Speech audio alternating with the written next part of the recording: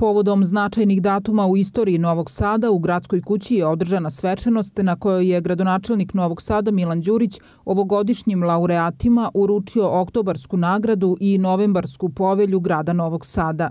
Datum 23. oktobar zauvek je ostao upisan kao dan u kojem se slavi sloboda i već tradicionalno tim povodom se nagrađuju novosađeni oktobarskom nagradom za izuzetne rezultate koji su ostvarili i tako doprinuli razvoju ovoga grada. Tamteći one najhrabrije, ne smemo u našoj slavnoj prošlosti nikada da zaboremo i vojnike Dunavske divizije na čelu sa majorom Vojislavom Bugarskim. Oni su 9. novembra 1918. godine, posle četiri godine surovog stradanja, slobodu doveli i u naš grad. Novembarska povelja dodeljuje se i povodom obeležavanja 25. novembra 1918. godine, dana kada je Velika Narodna skupština Srba, Bunjevaca i drugih Slovena, Banata, Bačke i Baranje donela odluku o presjedinjenju Vojvodine Kraljevini Srbiji. Te datume iz prošlog veka, veka mi u našem gradu ispisujemo velikim slojima i pridajemo im posebnu pažnju. Siguran sam u to da je Novi Sad danas grad kojim bi se naši slavni preci ponosili – kako svaki grad suštinski čine ljudi, kreirajući ga svojim delima. Ovo je svečani trenutak u kojem ponosno možemo da istaknemo i nagradimo upravo pojedince, ali i kolektive, one najbolje.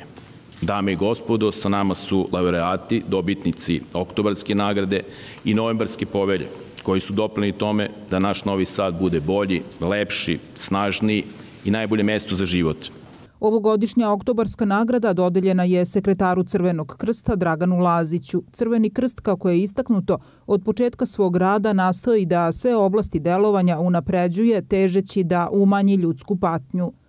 Srećan sam što u ovom trenutku iz ovog mesta mogu da izraz, uputim izraze duboke zahvalnosti predlagačima, odbornicima Skupštine grada, svim pojedincima, institucijama i svim dobrim ljudima što su omogućili da budem laureat grada za ovu godinu. Iskonska potreba čoveka je da stvara, da tako pokuša da potvrdi sebe, a da potvrdi i sredinu, odnosno gradu kome živi. Meni je omogućeno da budem na čelu institucije, odnosno odgovorna lica u Crvenom krstu Novog Sada, gde zajedno sa kolegama zaposlenim i sa volonterima nastojimo da unapredimo naš grad, a ova nagrada je obaveza i postrek da nastavimo s odgovornim aktivnostima i u budućnosti.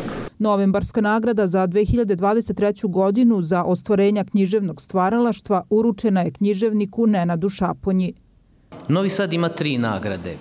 Oktobarsku nagradu, novembarsku povelju i februarsku nagradu. Šta je zajedničko? Sloboda.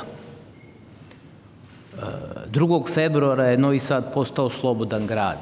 23. oktobra je oslobođen.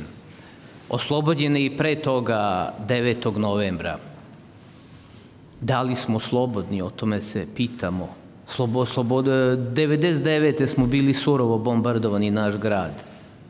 I danas živimo u svetu koji i jeste i nije slobodan. A i svako od nas u svom poslu upravo pokušava da dođe do parčeta slobode i da tu slobodu pokaže i ostvari e, svima nama i da omogućimo našim porodicama, našem gradu, da živimo normalno. Ovogodišnji laureat, dobitnica Oktobarske nagrade, je i bivša direktorka gimnazije Isidora Sekulić i profesorka matematike Ružica Vukobratović, koja je provela četiri decenije u obrazovanju. Oktobarsku nagradu primio je i Nikola Lovrić, direktor Novosadskog sajma, ustanove koja je ove godine obeležila 100 godina postojanja – Novembarska povelja dodeljena je Branku Ćurčinu, protojereju i Stavroforu, koji je već 40 godina u službi crkve. Osnovna škola Vuk Karadžić dobitnik je novembarske povelje za doprinose u prosveti, a nagradu je primila direktorka Zorica Zeljković.